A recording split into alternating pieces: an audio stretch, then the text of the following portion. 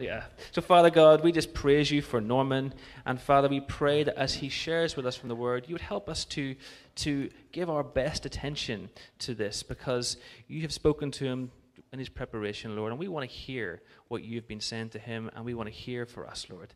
In Jesus' name. A. Oh, amen. Uh, amen. It's okay to say amen there. what a wonderful Irishman. I had trouble putting this on this morning because somebody had done knitting with this. So Karen and I uh, have been trying to uh, sort it out. Would you like to open your Bibles to the book of Luke?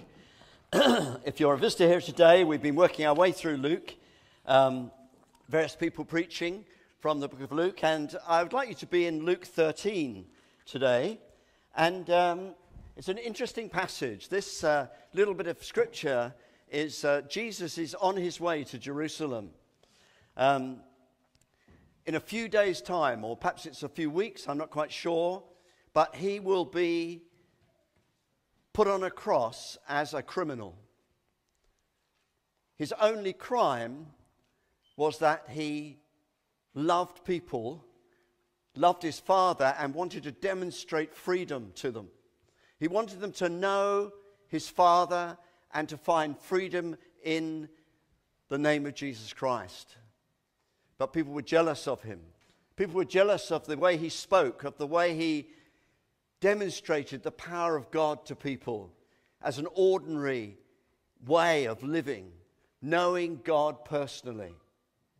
And yet, in the midst of that, it says as we look into Luke 13, uh, and I'm going to be uh, looking from verse 22, if you'd like to find that, going to read from verse 22 round to verse 30.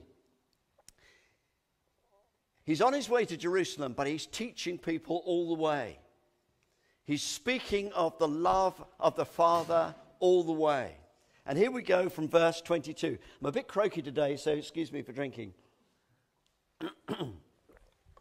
it says this Then Jesus went through the towns and villages, teaching as he made his way to Jerusalem.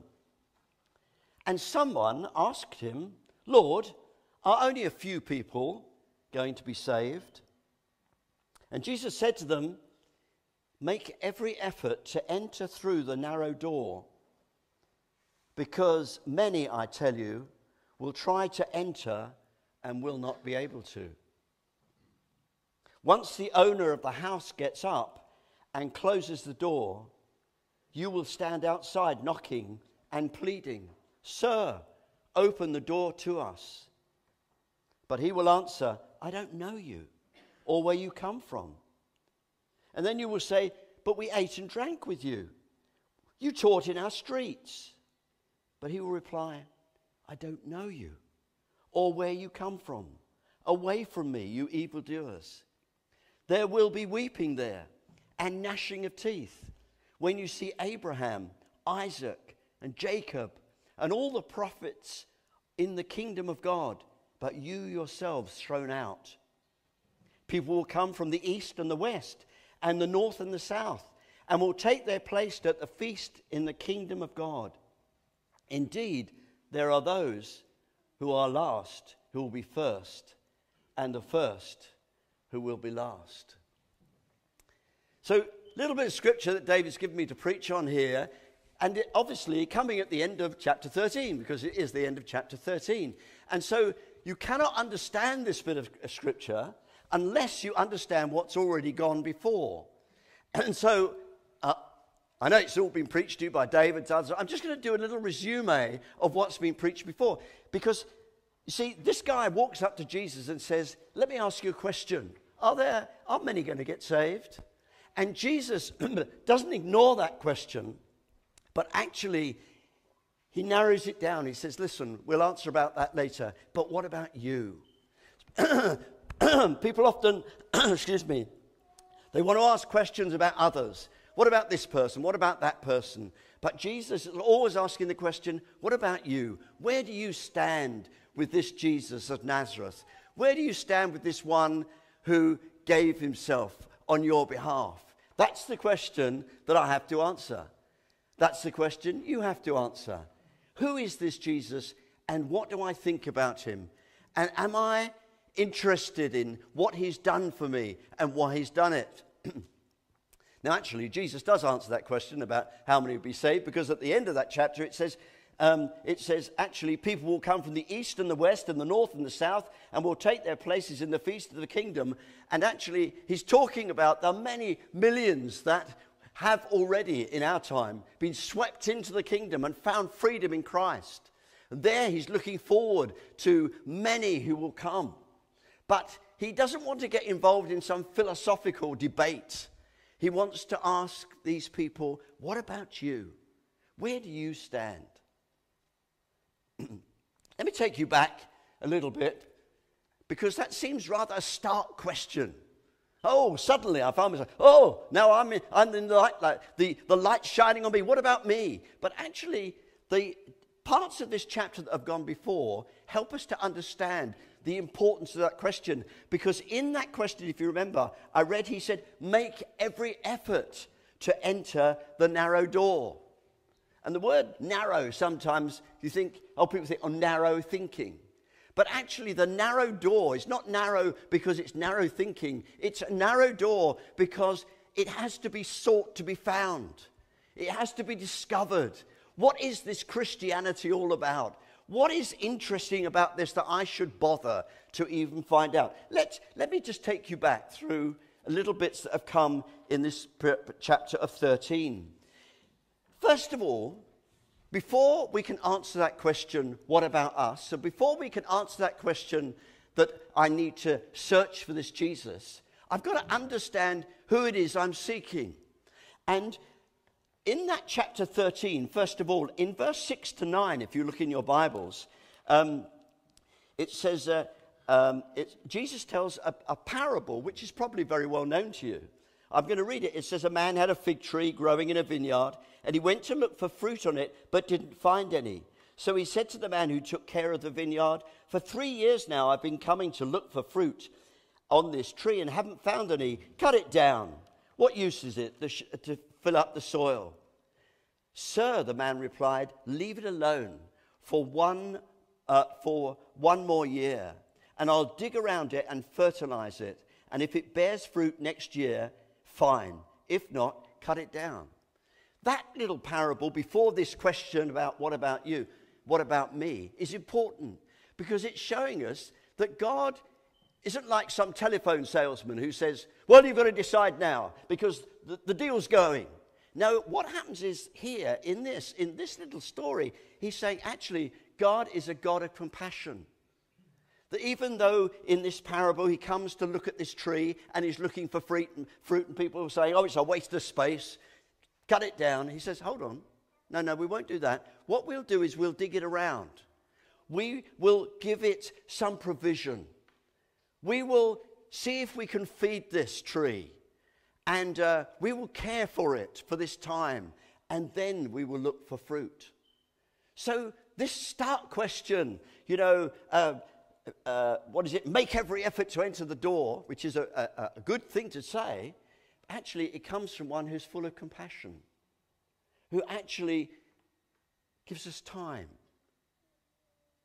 who wants to resource us from the Word of God and speak to us so that actually we can come to that point of bearing fruit. And then there's another little story that comes in chapter 13, and it's, a, it's about a lady. And I preached on this one some four or five weeks ago. She's in the crowd. She's been sick for many years 18 years. She's been bent double.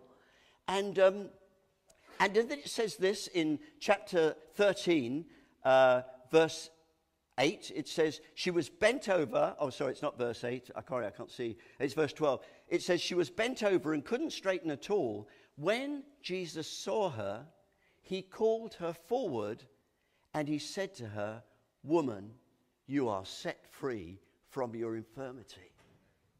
That tells me something else of the provision. Not only is the provision of, um, of compassion of God when He's calling people to follow Him, but there's also a provision of His personal intervention in our lives. And I'm interested in this lady because it says, when he saw her, listen, you may feel you're miles away from God. You may feel, does God know me? Yes, the Bible says he sees us, he knows us, he's interested in us. We're not just a number. The Bible actually says something really remarkable. It says, even before we were formed in our mother's womb, he knew us. How amazing is that? And it says, Jesus saw this woman, and then he called the woman out from where she was, as it were, almost hiding in the crowd, bent over. He called her forward, not to embarrass her, but because he wants to speak something over her which will bring complete and utter freedom. He calls her forward, it says, and he says to her, Woman, you are free from your infirmity. See, we've already had testimonies this morning of people saying, of, of speaking about God breaking chains and Barry standing up. And, you know, goodness, you know, after 60 years of marriage, can you imagine Barry just losing his wife one day? She was a, a member of our, uh, our small group. And, uh, and just wonderful to get to know her. And then the day came when quite suddenly she died. Now, she was a woman who loved God. She was a woman who had hope in God. And so, as Barry said, I know where she is. She has been received now into the very presence of God because that's what the Bible promises. And yet, Barry himself, it's, it's awful loss. And so, what he was describing had become like a chain. But actually, it's Jesus that breaks chains. So he called this woman forward and he speaks over her freedom. That's another thing of the provision of God. He comes with personal in, uh, intervention into our lives. He doesn't expect us to do it. You know the difference between Christianity and religion? Religion is what men and women do for God. Christianity speaks of what God has done for men and women. He's given his son to die on the cross, to break the power of sin in our lives. He's done it, and he calls us to follow him. But he's done it. His, Christianity is not a, a, a belief of lots of rules. I have to do this and I have to do that to try and be good enough. God knows we're not good enough. But he comes to make us good. He comes to set us free. He gave himself to pay the price for our sin, our rebellion against God, our selfishness, our desire to do things our way. He came. He stepped into our world to make it possible. So we've got provision of God. We've got the provision of compassion, of time. God putting something into our life, maybe speaking to us. God intervening in our lives like this. Maybe, you know, I often talk to people and they say, Yeah, when I was young, I felt God speak to me. Or I've had these dreams recently and God seemed to be speaking to me. Or I'm facing this situation and yeah, I, I don't know whether it's God, but I, I, I do understand what you're talking about when you talk about God speaking to me. Listen, God is so active, He chases behind us. He wants to find us, He wants us to know Him. He doesn't say, go away and get yourself right, get perfect, and then come and see me, and I'll have a look at you and see if you're valuable and whether I want you. No, no, he doesn't do that at all. Actually, he comes to us knowing what we're like. And he says, I come to set you free. He is a God who intervenes. He is a God who provides. He is a God who comes to set us free. And there's a third story. And it, David preached on this last week. And it, it comes in verse 21. But I'm going to uh, read from verse 20. Jesus asked them, still in this conversation with people, What shall I compare the kingdom of God to? And then he says it's like two things. He says it's like yeast that a woman took and mixed into about 60 pounds of flour until it worked, it worked all its way through the, the dough. And he'd also said, previous to that in verse 19, it's like a mustard seed, which a man took and planted in his garden, and it grew and became a tree. What's that about? It's revealing something about this God who is calling us to be with him. He's speaking of a God who has made it possible for us to respond to him. Did you notice in that part where it talks about the mustard seed, it says, which a man planted. See, he had this mustard seed, and here it is. Mustard seeds are tiny, and you can, have, you can go to B&Q, buy yourself your mustard seed, and you could be ever so pleased. Look, I've got my mustard seed, put it in the jar. Oh, but if you don't plant it, all you've got is a packet of mustard seed. Or if you've got some yeast, you know, sitting there bubbling away. I don't quite know what yeast is, but I know it's sort of living stuff. And it bubbling away. Unless you mix it with the flour, the dough doesn't rise. You've got to do so his provision is this. He makes it possible for us to exercise faith. I just want to go through these three things again. This God that is saying, Come make every effort to find the kingdom. He says, Yes, all right. But listen, you've got time. You've got time to, because I'm going to start speaking to you. I'm going to start leading you on the path that, that I want you to take. Secondly, He's a God who personally intervenes in our lives. Don't be surprised if you have dreams.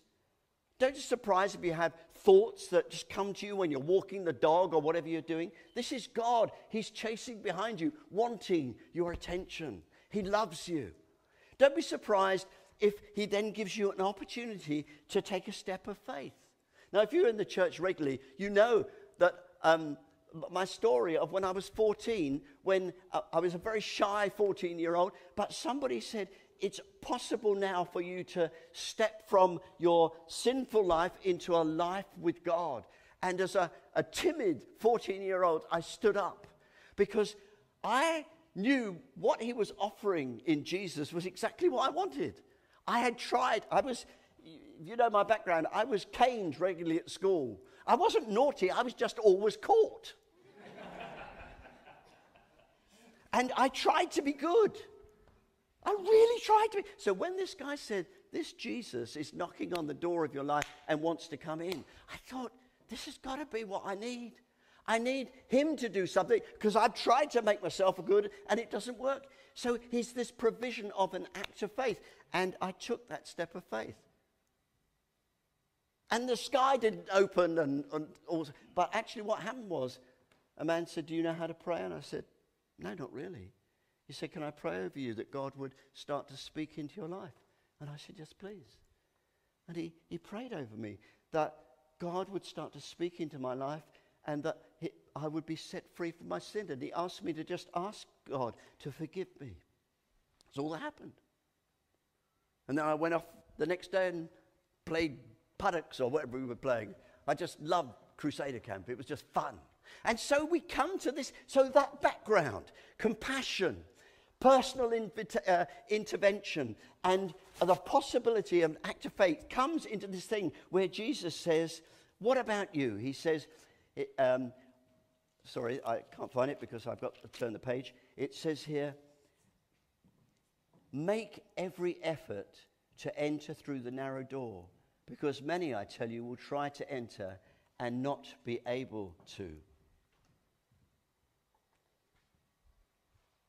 You've been following the U- Ukraine war. Can you imagine that you're a Russian person living in Russia?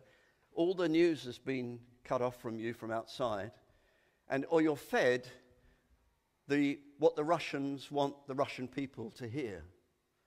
You don't know anything else. And they, they had say this tragedy going on where members of family are in Ukraine and they're ringing people in Russia and saying, who were saying, no, we would never bomb people. We would never kill civilians. They're saying, but bombs are falling on my house. And they say, no, no, we can't believe that. That's not what we've heard. Richard Dawkins has done a good job at trying to destroy any hope in God in people. I don't know why he spends so much time trying to persuade people that there is no God that, uh, and he doesn't believe in a God. I mean, if he doesn't believe in it, why spend all these time? There must be something going on in Richard Dawkins that makes him so angry against God that he doesn't want anybody else to believe in the God he doesn't believe in. And one of the things he says is, you can't be intelligent and follow Jesus. I want to just tell you about three people who pressed in and did exactly what this scripture says, who made every effort to enter through the narrow door. Not because they were narrow in their thinking. In fact, they were revealed to be narrow in their thinking before they stepped through the door, but once they stepped through the door, they realized that actually they had been narrow in their thinking by saying, We don't believe in any of that. The first person you may have heard of. He's a man who had the privilege of uh, uh, leading the team that wrote down and revealed the human uh, genome, which has been used by doctors, uh, you know, to, to really understand medicine in a, in a way that's wonderful. His name is Dr. Francis Collins. You may have heard his name. I'm not talking about those who, inve- who discovered uh, DNA in the first place, but Francis Collins was asked, Can you now lead a team that will be able to write down the human genome so that this can be used by doctors? Actually, he was a Christian, but he hadn't always been a Christian. When he was a young doctor, he had the responsibility for, for looking after terminally ill patients. And as happens, I, I, guess, between a doctor and his, uh, per, in that sort of situation, a lot of open conversations were ha- had. And uh, they became very intimate. And he would talk with his patients. He was caring for them. He knew they were at the end of life. And he, he, he loved them. And they would share their heart with him. And he would share his heart with them. And one day, one of an elderly lady who was now right on the last few days of her life, she spoke about a hope of heaven. And he heard this before from many of his patients, but didn't really understand it. And then she said to him, Dr. Collins, do you believe in God? And he was flustered. He said, uh, uh, uh, Well, I haven't really thought about it. And she said, Oh, I'm surprised. You being a doctor. And he walked away from there and realized that as a doctor, he would never take things that everybody else said without investigating it to see if it was true. And so uh, I think he went to see his local Methodist minister, who reached around on his bookcase and pulled out um, uh, C.S. Lewis's book, Mere Christianity, and said, Try reading that. And he said he opened it and found that C.S. Lewis was, had struggled with exactly the questions he was thinking about. How, how can God do this and all that sort of stuff? And in reading that, he realized he hadn't really thought about it at all. But he then started to read his Bible and discovered a personal relationship with Jesus. God took him on to lead a team that wrote down the human genome, which is now such a help to everybody. That's one person. You may have heard of him. Another guy recently um, who is worth uh, learning about is a guy called Lee Strobel. Lee Strobel was an investigative um, uh, reporter. So he would, he would, you know, I don't know, find something naughty happening in a corner here that everybody was trying to hide, and he'd, he'd dig around and he'd bring it all out into the open. Anyway, uh, Lee Strobel, to his horror, uh, he was an atheist. To his absolute horror, his wife went to church and became a Christian and started to secretly read a Bible. And he, he knew what she was up to, and he was quite angry about it. And uh, in fact, he was so angry, he thought, well, I'll prove it's not true. I'm an investigative, you know, reporter. And so he started visiting people and interviewing people and going to Christian meetings and saying, you know, just because he was sure they're all completely bonkers. And the trouble was, the more he read his Bible, because he knew that he had to read the Bible to find out what they believed, the more he read his Bible, it was almost like God was saying, Hello, I'm ever so pleased you're opening this book because I'm here. I, by the way, I'm the one you don't believe in. And so he, it took him ages, but more and more he became aware that this Christian message was true. I don't know what his wife was doing. I'm sure she was giggling. But uh, she, she, was, she was not trying to get too involved because she wanted God to deal with her husband because otherwise she knew he was going to just blow a gasket. And he ended up writing a book. And the book is called The Case for Christ. And then he wrote another one called The Case for Faith. And actually, what he discovered was he had been very narrow minded but actually, the way to discover who God is is to enter through the narrow door. Not because it's a narrow minded door, but because it has to be looked at carefully to discover what's the way in. So there's two people that just deny totally what Richard Dawkins would like us to believe that you, you know, you've got to be thick as two short planks to be a Christian. That's not true. What about Antony Flew? Ever heard of him? Ant- well, you obviously don't read philosophy. Antony Flew was one of the foremost philosophers, atheistic philosophers of our time. He only died a, a, a while ago. And he had a fire. For 40 years, he, had a huge following of people who, because he was very anti God. But he had one philosophical sort of mantra which he followed faithfully, which was this follow the evidence wherever it leads you. And towards the end of his life, he kept following the evidence of the scriptures and what the Bible said about God. And just before he died, he came to that point where he realized that God was real. And he wrote a book to the horror of his millions of followers. And it was the, the title of the book was There is a God After All. and they wrote some really foul things on the internet about him because of what he said. But actually, he'd followed the evidence wherever it leads and discovered that philosophically, even without faith, there was a reason to believe in God. See, this is the narrow door that Jesus is talking about.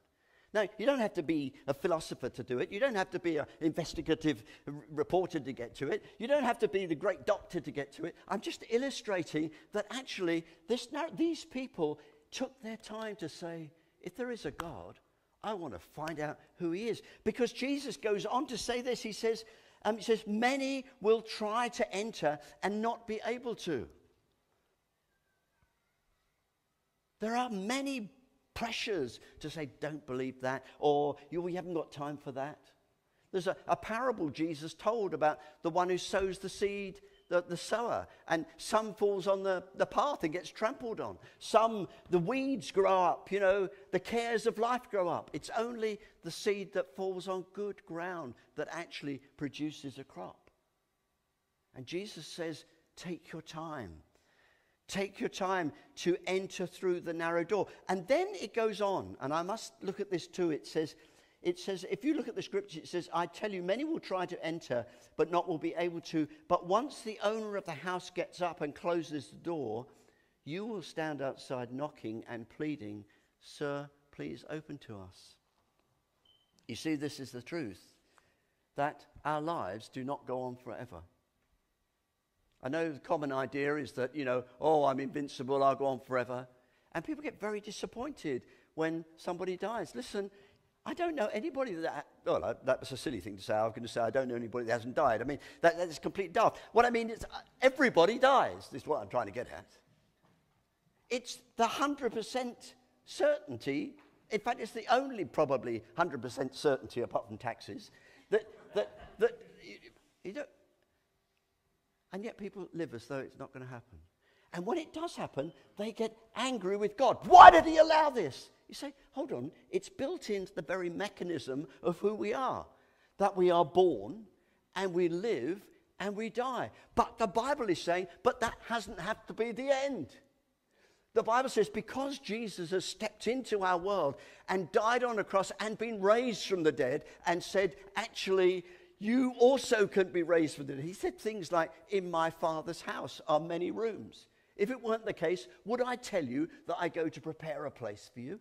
And that has gripped me ever since that day when God gave me the opportunity to take a step of faith that I have discovered it to be true. That the older I get and the closer I get to heaven, the more excited I'm getting. So if you think I'm bad now, wait to see what I'm like later. Aren't you excited about what God has for you? Or have you so put your roots down in this world that you can't bear to leave it? That's not. it's good to be faithful. It's good to enjoy this world. It's good to raise families. It's good to all those things. But God has something better for you. And it's not pie in the sky when you die, it's hope while you live now. That actually you've something to live for, you've got something to aim for. You know why you're here. And you can have confidence that although there are many, many things that you do not understand, there is one in heaven who understands. There is one in heaven who spoke about Jesus coming even before he came. Do you notice something about this? If you look at this scripture, it says, once the owner of the house gets up and closes the door. Have you ever noticed what that scripture says? What did it say the owner was going to do? Get up and close the door. The Bible tells us elsewhere that at the moment, Jesus Christ, who died on the cross and was raised from the dead, is seated at the right hand of the Father. And what's the Bible? Some of you know. What is he doing seated? Sorry? Interceding for us, asking the Father that mercy would be shown to us, that he would speak to us, that we would find faith to follow him, He's interceding. But this Bible says, uh, uh, Jesus says, but a time will come when he gets up. And he gets up to close the door. Now, I don't know what that means the day when a person dies, or, or, or, could, it, could it mean just the end of the world? I don't know what it means exactly, but I do know this. At this moment, he is seated interceding for us. He's interceding for your children, he's interceding for your friends. He's praying that the life of the Father, of the Holy Spirit, would come to you and you would know why you're alive. But a day will come when he will get up. And the Bible is saying there will be a day when he closes the door. I always think it's amazing, don't you, that somehow urgency comes to us when it's too late. Or the nearer we get to something happening, it suddenly becomes urgent. Why are we like that? Why don't we plan ahead? We think we're intelligent. Don't you know that a day is coming when your life will end? Or have you got a special ticket? Buy into the last round. No, you haven't. Our lives are going to come to an end. Why don't we prepare for it? I watch these programs where elderly retired people are going to buy themselves, I don't know, a, a mansion in Spain. I think they've only got about six months to go. Shouldn't they be thinking of preparing for that, what's going to happen. But we don't. We put it off, put it off, put it off, put it off. Many will try to enter but won't get in. Put it off, put it off. That's stupid. That's small minded. That's narrow minded, isn't it? Well, why is it we always miss things when they're gone forever? And then we get all sentimental. Oh, Oh, the old car I had, it was so lovely. No, you used to moan that it would never start when you were going to work. Oh, but it was so lovely. Why do we miss things when they're gone? Listen, the day is coming, the Bible says, when God will close the door on your friends. Actually, on you as well.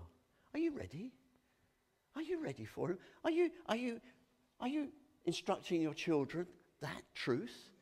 Are you living knowing that your life is going to come to an end? Or is you living as though it's going to go on forever? How, how do you manage your finances? How do you manage the, the things you put your time into? That's why we've stood here today and worship God. Not be, be, because we, we, we've got this hope for the future and we've got this hope for now. The truth is this on the day of judgment, which is what the Bible calls it, the day when we will stand before Him a distinction will be made. Now, today, nobody likes distinction. Everybody wants, oh, everybody's included. Oh, it's every, everybody's included. You know, the government even, this, uh, governments, not, I'm not starting about to be political, the governments, they, they, they talk about a broad church. That means, what does it mean? Well, it means everybody, any of you can come in and nobody knows what's right. But actually, the Bible isn't a broad church speak about, but it talks about those who have come to Jesus Christ and asked him to be the Lord of their lives and said, Lord, I know I need you in my life because without you, I can do nothing that will last for eternity. So on the day of judgment, a distinction will be made. And the distinction, do you see this distinction in this chapter? It says, it says in verse 28, there will be weeping there and gnashing of teeth. Those words sort of seem very old fashioned to us. People grinding their teeth. What, what is it speaking about? It's speaking of total regret, of a feeling of utter foolishness. Why didn't I pay attention? Why? It, actually, it says there's a distinction, and they are outside, for the door is closed, and they will not be allowed in. This isn't God trying to be horrible. Actually, what He's trying to say is, I'm warning you now. So that, that will not happen to you. I can't bear that you'll be outside the door, regretting and, and gnashing your teeth. I don't want that. I want you to know me now. Not just then, not as a, you know, sort of a, an insurance again. I want you to know me now so that you grow to know me now and you live now knowing my goodness because I'm going to walk with you into the future.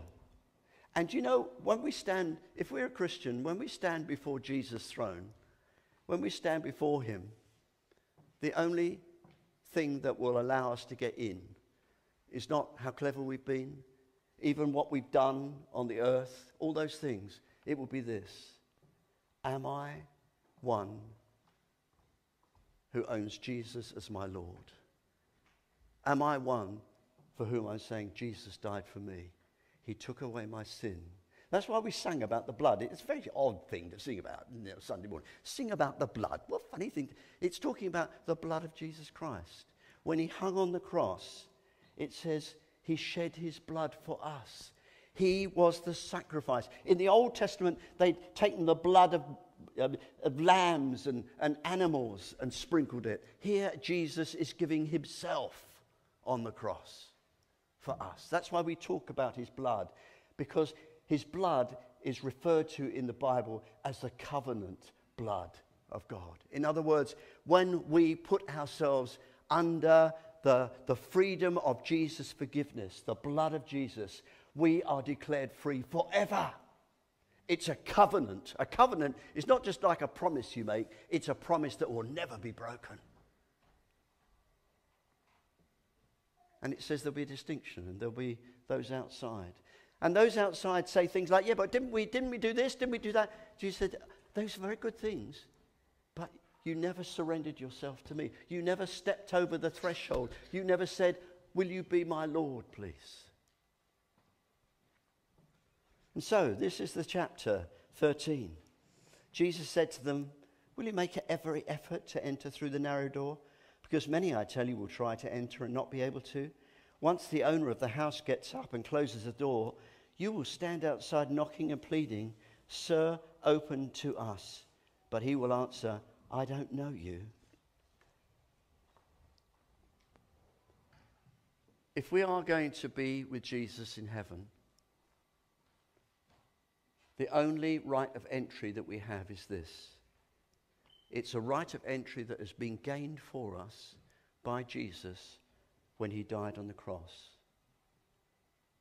When he died on the cross, he said over humanity what he said to this woman I now set you free. And do you remember I said that God gives us that privilege of exercising faith, of saying, I do want this. And I'm just going to give a, a little opportunity. There, sometimes when I, I preach, when anybody preaches really, in scriptures like this, God speaks to you because this is a living word.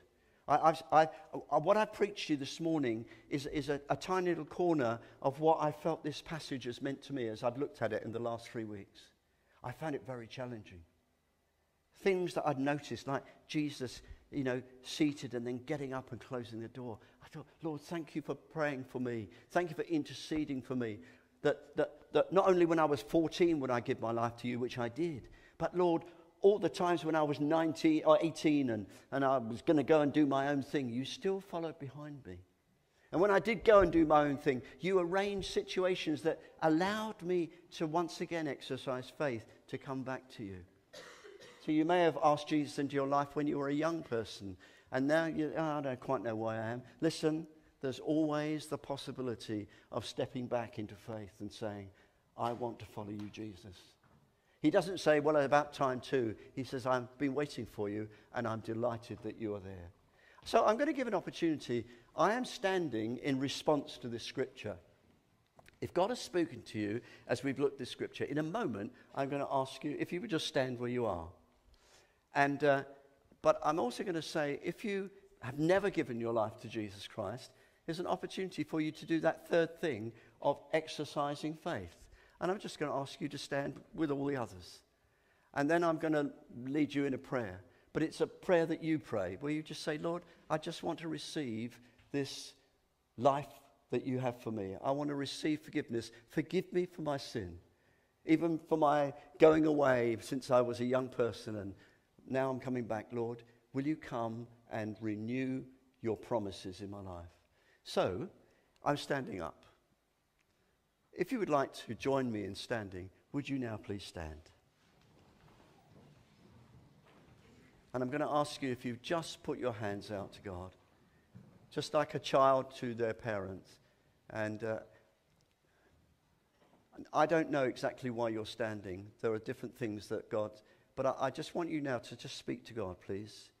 Would you just say, if you need to repent, if you need to say, I've never repented of my sin, uh, repent means turn around and start running in, uh, going in a different direction. It means a change of mind. You just tell him you're going to do that now? Just speak to him.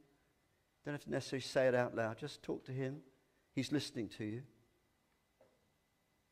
Would you ask him now to come again into you? Uh, or if it's the first time, ask him to be your Lord.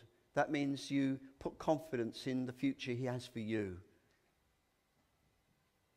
Would you, would you also thank Him that He has given Himself for you? He died on the cross. Would you please make a point of saying, Lord, thank you that you gave yourself for me? I don't deserve it, but thank you.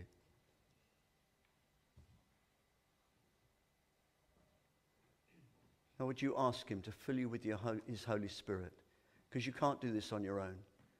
You don't, you're not expected to now carry on on your own. You started by asking Him to be the Lord of your life, and you've asked Him to forgive you for your sin. Now ask Him to fill you with His power the power of the Holy Spirit, the one who comes alongside you to help you. Just ask Him, fill me with your Holy Spirit now. And now, would you ask Him that His kingdom will come? in your life. And He would continue speaking to you and opening your heart and your mind to His love for you. Thank you, Lord. Father, we stand before you now with our hands lifted out. Just say, Lord, we come as children before our Father, and we ask you now to fill us, and we ask you to take us forward. And Holy Spirit, we give you permission to keep talking to us. And I pray that we would never feel we cannot talk to you about anything. We, we can talk to you about any, everything, Lord. I pray that we would just find increasingly a renewed personal relationship with you, the living God. And we ask that now in Jesus' name. Amen.